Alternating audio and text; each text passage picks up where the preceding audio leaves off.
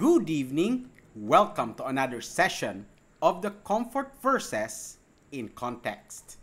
Now, for the next few weeks, we would like to shed light on the common passages in scriptures that is used in funerals and funeral banners for deceased loved ones.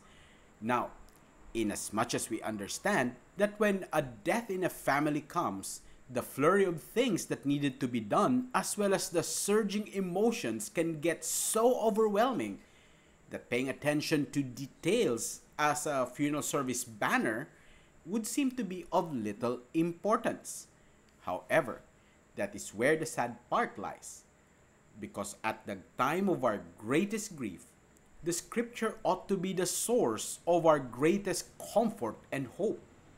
However, sadly, many times scriptures in funeral services, even in funeral banners, are relegated to a mere cliche, with choosing a verse that is normally not thought of well or understood. So, what we intend to accomplish tonight and in the weeks to come is to shed light on the scriptures regarding the funeral banners, the scriptures that are used in uh, funeral banners, that we would truly grasp and understand what the passage is saying and understand what message it's trying to convey once we use it. Now, one of the most popular verses that is used in funeral banners, especially here in Puerto Princesa City, Palawan, where we are based, is what we can read in 2 Timothy chapter 4, verse number 7, which reads this way I have fought the good fight, I have finished my course, I have kept the faith. Now, before we move on any further in our study, let us first come to the Lord in prayer. Let us pray. Father, we thank you that we can see from the scriptures the truths that you want us to see and allow us, Father God, to pay attention, to give attendance to reading, to exhortate, to doctrine, to exhortation, and to doctrine. And we pray, Father God, that as we look into your word tonight, that your spirit of wisdom and revelation would enlighten the eyes of our understanding. Help us to see the things you want us to see tonight, Father. In Jesus' name, Amen and Amen. Now, our study tonight is entitled Clarifying Funeral Cliches and what is missed out in 2 Timothy chapter 4 verse number 7. Now, as with our previous studies, we begin our exposition of a particular passage in answering three basic questions, namely, who is talking, who is being addressed, and what is being talked about. Now, the answer to these first two questions can actually be found in our passage in 2 Timothy chapter 1 verses 1 and 2 where we read Paul an apostle of Jesus Christ by the will of God according to the promise of life which is in Christ Jesus. To Timothy, my dearly beloved son, grace, mercy, and peace from God the Father and Christ Jesus our Lord. Now, from those verses, we would see first the answer to the question, who is talking? And that would be the Apostle Paul. And the answer to the second question, to Timothy, is the answer to the question, who is being talked to. Now, as for the third question, which is what is being talked about, we can see that through the form and the flow of this epistle, which is the genre of our passage, we would see that this is an epistle, and as it unfolds, we would realize that this book is a book of charges from Paul to Timothy, his beloved son in the faith. Hence, because of this, reading through the book of 2 Timothy, we would see several second person singular imperatives in uh, throughout this book.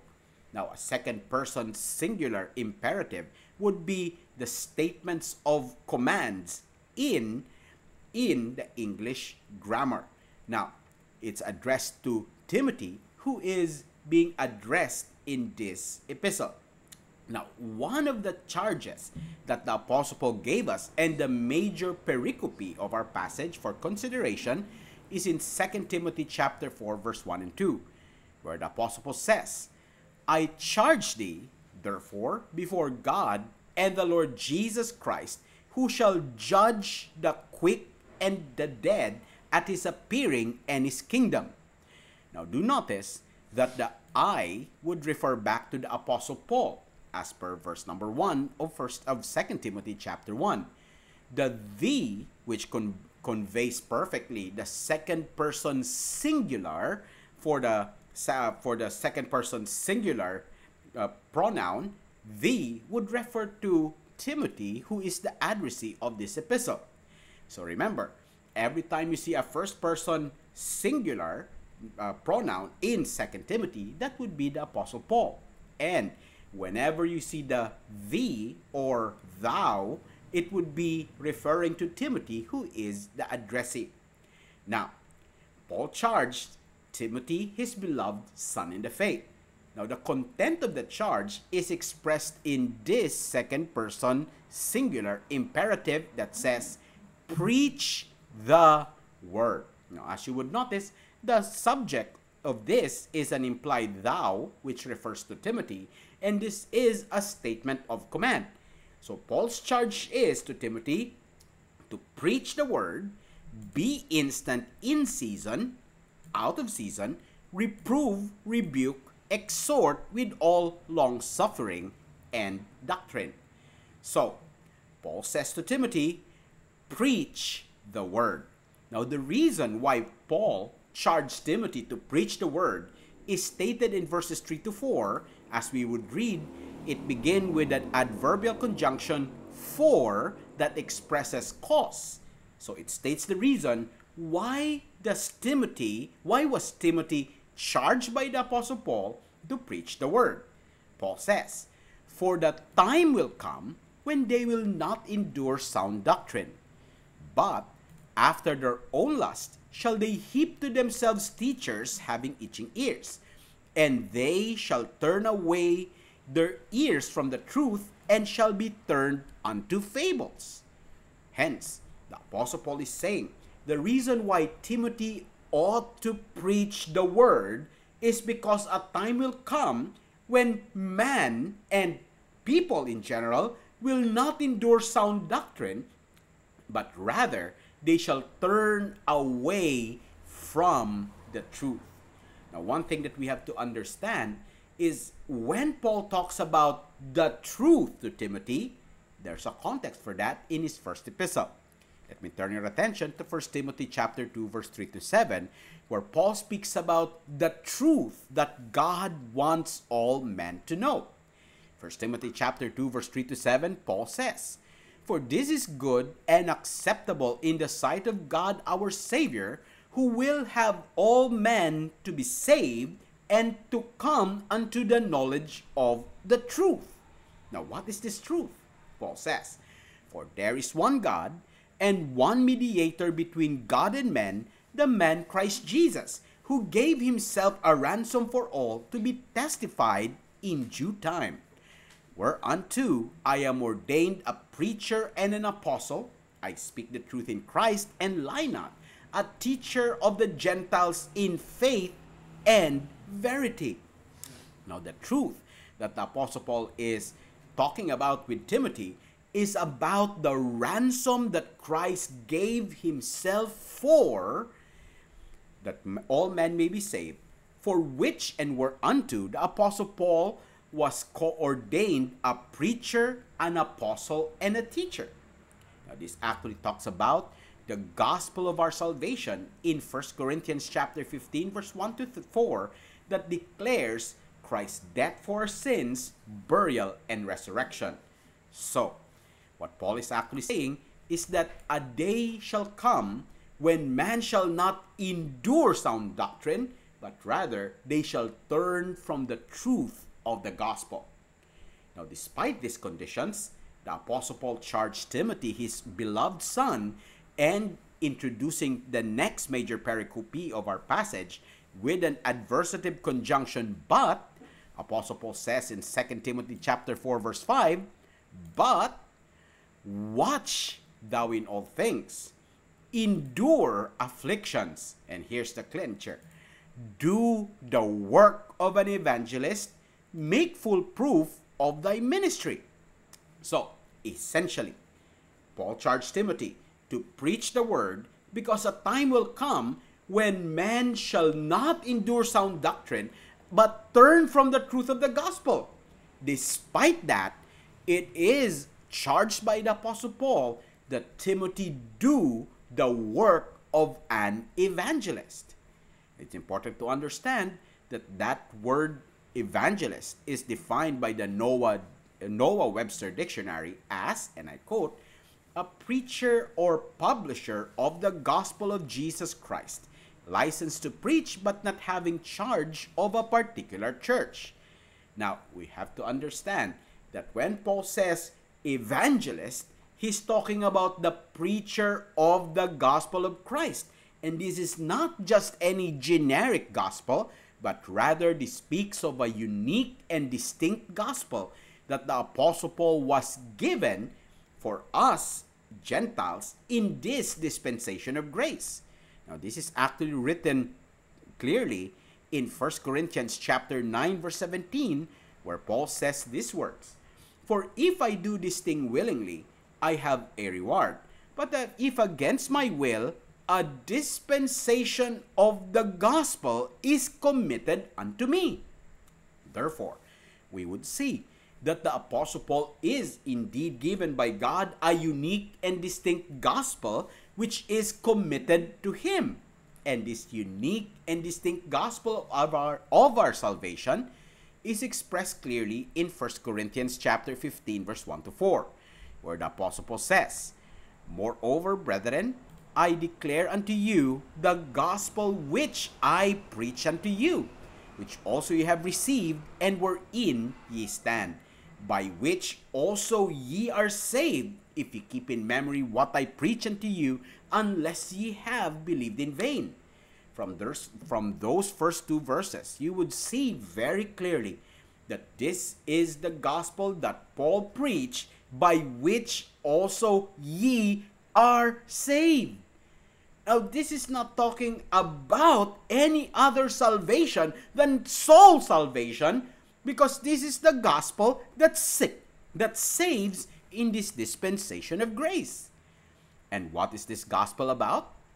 Paul says in verses 3 to 4 For I delivered unto you first of all that which I also received, how that Christ died for our sins according to the scriptures, and that he was buried, and that he rose again the third day according to the scriptures.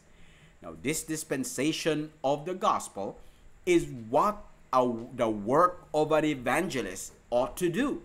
And the Apostle Paul performed this, and in a time when man will no longer endure sound doctrine, but rather be turned from the truth of the gospel, Paul tells Timothy, You watch thou in all things, you endure, you do the work of an evangelist. Do the work of an evangelist and preach the unique and distinct gospel that was given to Paul, and this time it's transmitted to Timothy and for all who hears. Now, why would Paul commission Timothy to do the work of an evangelist? Because we would read in 2 Timothy chapter 4 verse 6 and amazingly it starts with a causal conjunction for that actually explains the reason why Paul tells Timothy endure all things do the work of an evangelist amidst the things the conditions that are prevalent in his time because Paul says for I am now ready to be offered and the time of my departure is at hand now we have to understand when Paul says that statement, the time of my departure is at hand, he's actually speaking that his death is imminent and near. Now, this is where our text comes in. But this is not simply any death, but rather this is a death when Paul says ready to be offered. This is Paul's death by martyrdom. That's why when it enters into our text in verse number 7, we would understand that Paul was telling Timothy that preach the word even because a time will come when man will not endure sound doctrine and many and man shall be turned away from the truth of the gospel but even so do the work of an evangelist and preach the gospel that I was commissioned to preach and that ye receive, and by which ye are saved.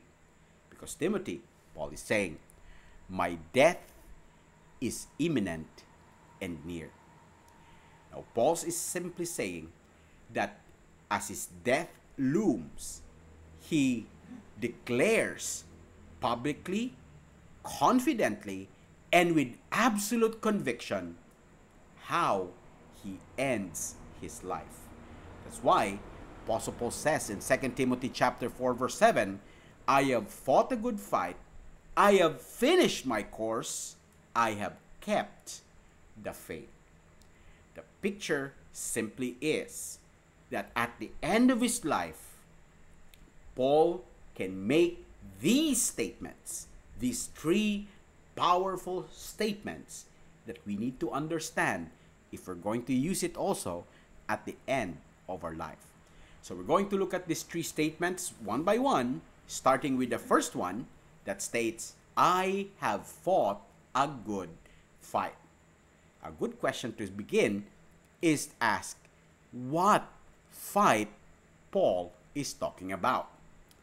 I want you to remember that Paul was telling Timothy to preach the word in a time because in a time a time is coming that man shall not endure sound doctrine and shall be turned away from the truth of the gospel.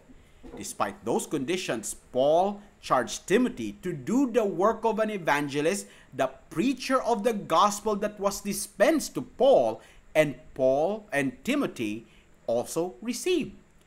Now, this same gospel that is dispensed to the apostle Paul is what he talks about in 1 Corinthians chapter 9 verse 17 to 18 where Paul says, "For if I do this thing willingly, I have a reward. But if against my will, a dispensation of the gospel is committed unto me. What is my reward then? Verily, that when I preach the gospel, I may pre I may make the gospel of Christ without charge, that I abuse not my power in the gospel. As a dispensation of the gospel is committed to Paul, his resolve to preach this gospel is also seen that he will do whatever it, it takes in order to preach this gospel, even to the point of making it without charge, that he may not abuse his power in the gospel. Now, with that in mind, the Apostle Paul continues on in verses 19 to 23, where Paul says, For though I be free from all men, yet have I made myself servant unto all, that I might gain the more. And unto the Jews I became as a Jew, that I might gain the Jews. To them that are under the law, as under the law, that I might gain them that are under the law. To them that are without the law, without law, as without law, being not without law to God, but under the law to Christ. Why? That I might gain them that are without the law, without law. To the weak became I as weak, that I might gain the weak. I am made all things to all men, that I might by all means save some. Now, why is Paul doing all of this? And Paul says, And this I do for the gospel's sake that I might be partaker thereof with you. Paul is simply saying that everything he does, he does it for the gospel's sake. And he does this that he might save some. Now, why would Paul do this? Now, Paul gives an explanation of what he's doing, and he also describes this as a fight. Now, Paul says in verses 24 to 27 Know ye not that they which run in a race run all, but one receiveth the prize? So run that ye may obtain. And every man that striveth for the mastery is temperate in all things. Now they do it to obtain a corruptible crown. So Paul is saying, if you want to do a goal, you do everything to accomplish that goal. And Paul says, Know ye not, I, Paul says, I therefore so run, not as uncertainty, uncertainly, because Paul has a purpose.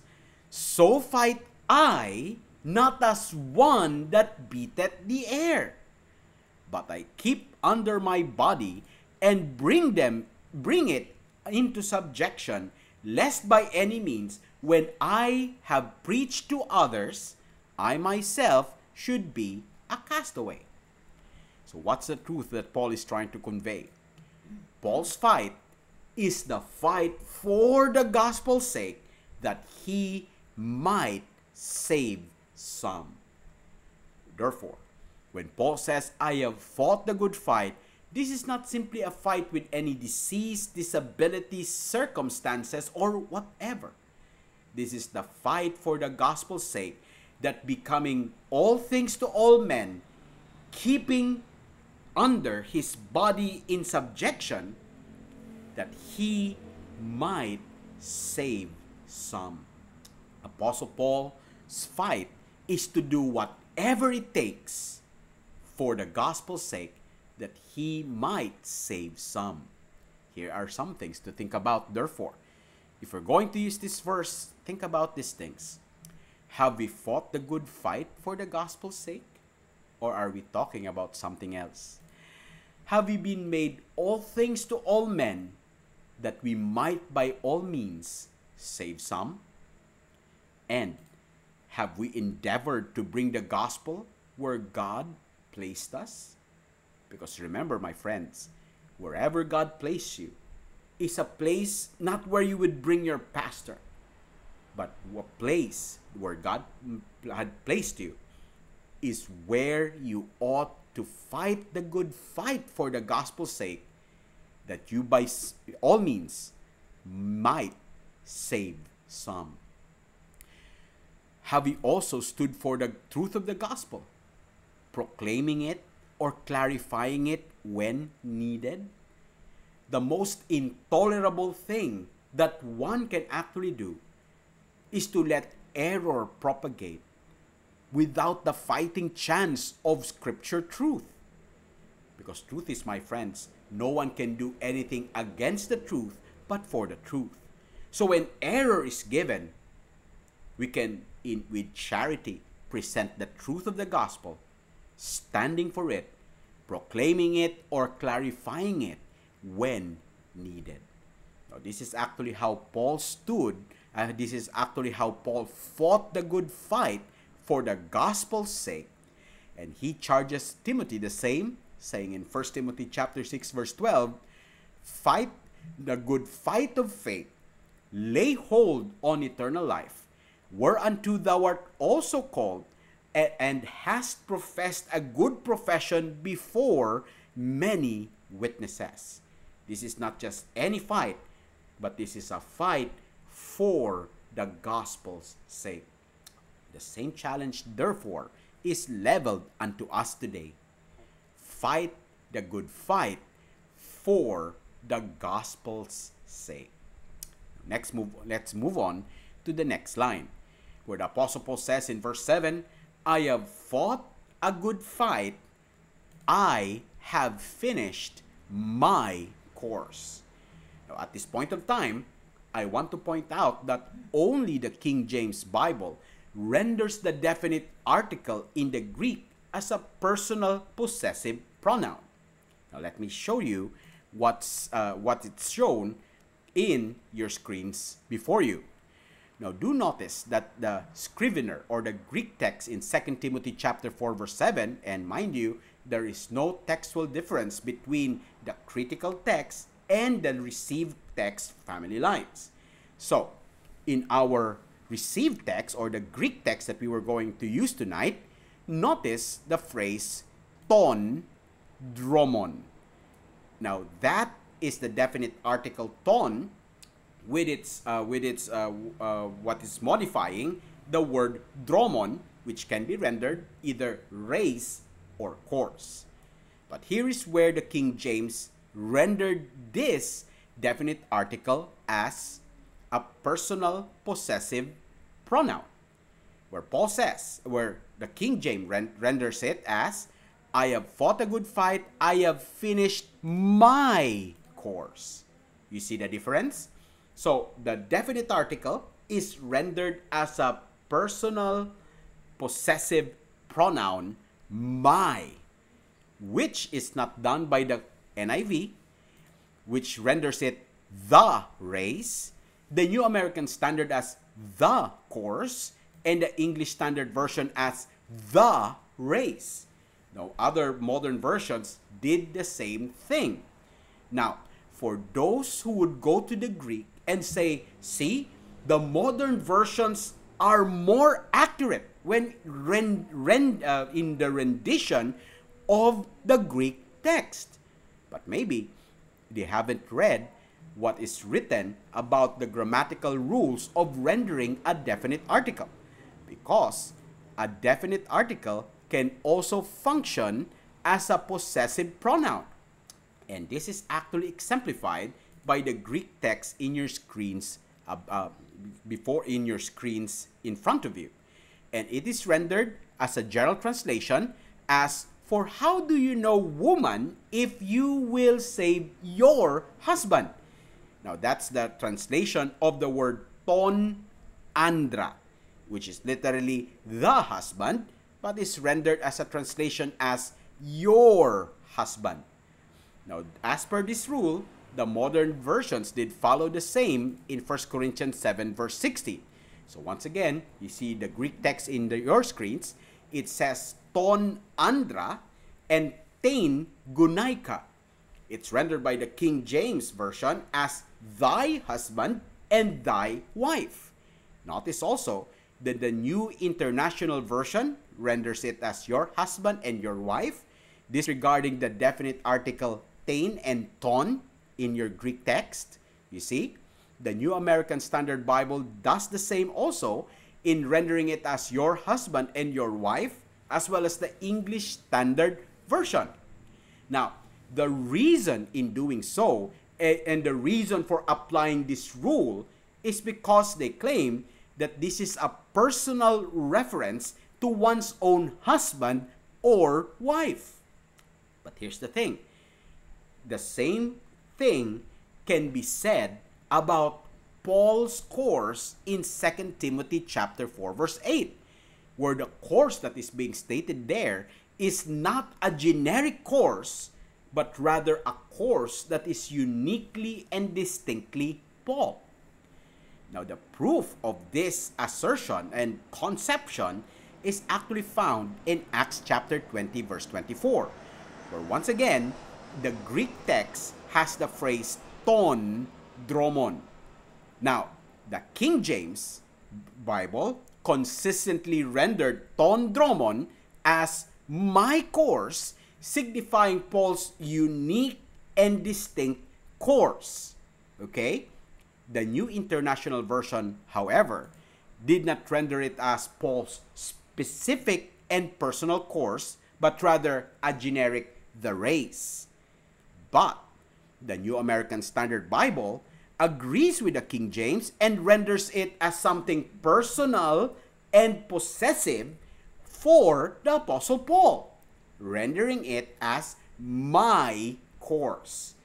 Now, with the New American Standard Version, we would also see that the same thing is done by the English Standard Version, by the New King James Bible, by the, uh, by the Christian Standard Bible, as well as the English Revised Version, and many more modern versions. Now, what does it show? They would agree that a definite article can be rendered as a personal possessive pronoun as in Acts chapter 20 verse 24 speaking of Paul's specific course and this would also pertain to Paul's specific course in 2 Timothy chapter 4 verse 8. Now here's a, an important question to also ask. What is missed if the rendition is not my course? Because we would read back in Acts chapter 20, verse 24, where Paul says, with the Ephesian elders, he says, But none of these things move me, neither count I my life dear unto myself, so that, Paul says, I might finish my course with joy. Now, this, cor- this course that Paul is talking about is expanded further when Paul says, and the ministry which I have received of the Lord Jesus. So, what was Paul's unique and distinct course that he says, This is my course, this is the ministry that I have received of the Lord Jesus? Paul says very clearly in Acts 20 24 to testify the gospel of the grace of God. Therefore, we would see the simple truth that Paul's course is set to testify the gospel of the grace of God. And this fits if a God, if a dispensation of the gospel is committed to the apostle Paul, then he has a specific course. He has a unique and distinct course that he has to finish. That was his goal. And in 2 Timothy chapter 4 verse 7, he says, I have finished my course. And because of that, here are some things to think about. What have you set your course to? Now, one of the things that are driving the hearts and the minds that baffle many people today is the question, What am I made for? But, my friends, you have to resolve to set your course to. The question is, what have you set your course to? What are you made for? Have you set your course to testify the gospel of the grace of God? Now, that's an important thing for believers because we are charged by the Apostle Paul in Philippians chapter 3, verse 17 Brethren, be followers together of me, and mark them which walk so, as ye have us for an exam for an example. Now, because Paul was uh, set his course to testify the gospel of the grace of God, shouldn't we be followers of him as we are commanded? Thus, our challenge for you today is that may we set our course to testify the gospel of the grace of God. So back to our passage in First Tim- uh, 2 Timothy chapter 4 verse 7. So Paul says, I have fought the good fight, I have finished my course, I have kept the faith. Now, what is this faith that Paul is talking about? Now, Paul, this is Paul, this is what Paul preached in Galatians chapter 1 verse 23, where Paul says, "But they heard only that he which persecuted us in times past now preacheth the faith which once he destroyed." Now, this is the declaration of who Jesus is, being the Christ, and what he has done that is his death for sins, his burial, and his resurrection. And this is the faith that pertains to the unique and distinct gospel that Paul preached and Paul was dispensed with, and what Paul transmits to others. Also, this faith is what Paul charged the believers to continue in, grounded and settled, as we would read in Colossians chapter 1 verse 23, where Paul says, "If ye continue in the in the faith, grounded and settled, and be not moved away from the hope of the gospel, which ye have heard, and which was preached to every creature which is under heaven, whereof I, Paul, am made a minister. Essentially, this faith is talking about what believers ought to continue in, grounded and settled, and be not moved away from the hope of the gospel whereof Paul was made a minister to. So, what is this faith? This faith is also what Paul strove for in Philippians chapter 1 verse 27 where Paul says, "Only let your conversation be as it becometh the gospel of Christ, that whether I come to see you or else be absent, I may hear of your affairs, that ye stand fast in one spirit, with one mind, striving together for the faith of the gospel. Now, here's the truth you want to see. The faith that Paul kept is the gospel that he preached, charged believers to continue in, grounded, settled, and unmoved from, and the faith that he strove for. Hence, here's something to think about. Have you preached the faith, which is the gospel of Christ's death for our sins, burial, and resurrection given every opportunity? Or are you preaching a generic gospel? Have you not heard? Have you not seen it written? That there is a unique and distinct gospel dispensed to the Apostle Paul, which he preached, by which, the, which also we receive, and wherein we stand, and by which also ye are saved? If you know it, then preach it. Keep, in, keep it in memory, unless ye have believed in vain. Because we need to declare Christ's death for our sins, burial, and resurrection, given every opportunity. And also, have we continued in, been grounded and settled in, and unmoved from Paul's gospel? Or have we begun preaching other gospels? But know that there's only one gospel that saves in this dispensation of grace today. And have we striven for the faith of the gospel of the grace of God? Our challenge for you tonight is simply this let us keep the faith. Now, my friends, Paul, at the end of his life, when he was ready to be offered, thinking about his death by martyrdom, and Paul is saying, My the time of my departure is at hand. Paul is simply saying, with conviction and with confidence, verse 7 I have fought a good fight, I have finished my course, I have kept the faith. And when Paul declares those statements, he is simply saying, when Paul talks about a good fight, this is the fight for the gospel's sake.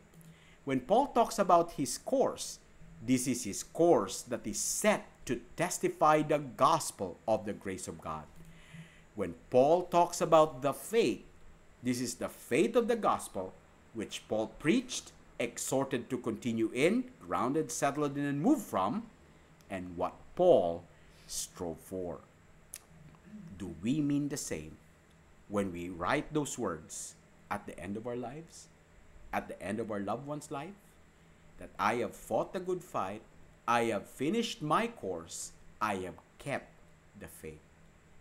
As a result, Apostle Paul can also claim with confidence what he says in verse 8 of 2 Timothy chapter 4. Henceforth, said Paul, there is laid up for me a crown of righteousness, which the Lord the righteous judge shall give me at that day, and not to me only, but unto all them also that love his appearing. Our prayer for you tonight is simply this. May we resolve to indeed fight the good fight finish our course, keep the faith of the gospel of the grace of God that declares Christ's death for sins, burial, and resurrection. Let me pray for you tonight. Father, we thank you for your word. We thank you for such clarifications. And knowing, Father God, the depths of these words, I pray that we would indeed resolve that we begin with the end of mind, that at the end of our lives we would indeed say with confidence, I have fought the good fight, I have finished my course, I have kept the faith, remembering that we fought the good fight for the gospel's sake, that we have uh, finished our course testifying the gospel of the grace of God, and we have kept the faith, preaching it, preaching, continuing in, and striving for the faith of the gospel. Father, I pray that we would resolve these truths to be realities in our lives. We commit to you these truths that we have received, and may it indeed burn in our hearts. In Jesus' name. Amen and amen. So, thank you very much for listening. We hope to catch you again in our future broadcasts on Monday. We pray that we would see you in our sacred Psalms for the Saints. And on Thursday and Saturday next week, we will be having a broadcast break. So, see you on Monday. Thank you very much for listening. The Lord bless you.